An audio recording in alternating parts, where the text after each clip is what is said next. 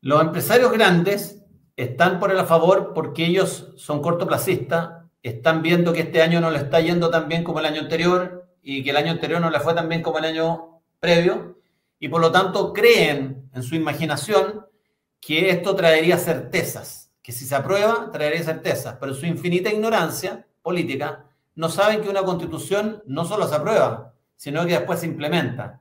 Y esta constitución tiene 61, 61.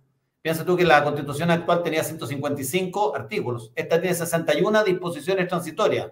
O sea, casi un tercio de la, vigente. Y esas disposiciones transitorias requieren de 30 leyes para poder echarla a andar. Entonces, no entienden que si, si quieren incerteza, si quieren certeza, la mejor manera es quedarse con la actual y reformarla. Porque partir con una constitución de cero, donde hay que pedirle al presidente Boric, de extrema izquierda, que mande 30 leyes y que se discutan en el Congreso, nos vamos a morir 5, 6 a 10 años.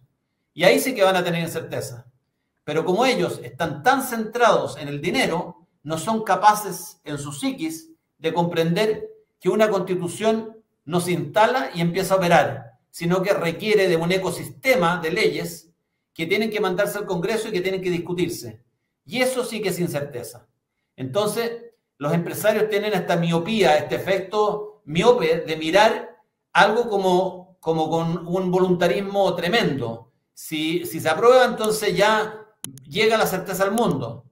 Y yo les preguntaría a ellos si con los dos gobiernos de Boric, los dos años de gobierno de Boric que quedan, ellos van a traer los 100 mil millones de dólares que se llevaron de Chile.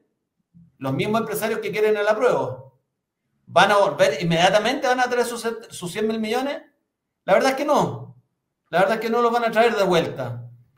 mientras no se aclare todo. Entonces vamos a entrar en una vorágine pero tremenda. Y fíjate que hay mucha gente que quiere que se apruebe solamente porque están agobiados, están cansados. Yo me acuerdo hace cuatro años de una entrevista y dije, al final del camino, que no sé cuándo sea, los chilenos van a terminar aprobando por cansancio cualquier cosa. Porque así funciona la izquierda. Te desgasta, te desgasta, te desgasta. La izquierda, yo puse un tuit recién hace poco, es como el matón del curso. Entonces, y la derecha cree que, que comete el error de creer que el matón del curso uno lo apacigua si le entrega algo, por ejemplo, como una constitución socialista. La izquierda sabe oler el miedo, lo huele, lo olfatea, y, y por lo tanto viene por más. Entonces yo creo que la única manera de parar el matón del curso, que es a la izquierda, es pegándole más fuerte y demostrándole que no se le teme. Pero aquí los empresarios no son de izquierda ni derecha, sino que son siempre del gobierno de turno y su único Dios es el dinero. Y si huelen que hay la posibilidad de que la situación cambie para que haya más dinero, van a estar por esa aun cuando se destruya el país.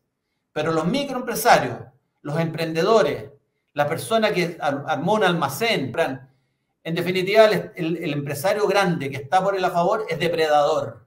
Son depredadores. Y siempre creen que su problema no, no compiten en el mercado, sino que son amigos del poder, ¿verdad? Son socios del poder. Así es. Circunstancia.